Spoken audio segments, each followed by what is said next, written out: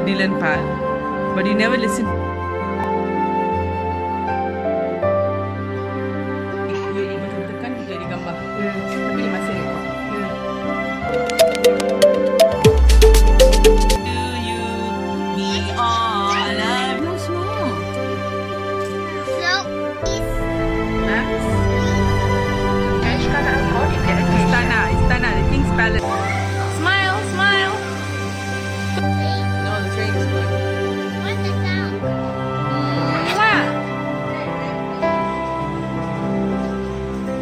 Thank you.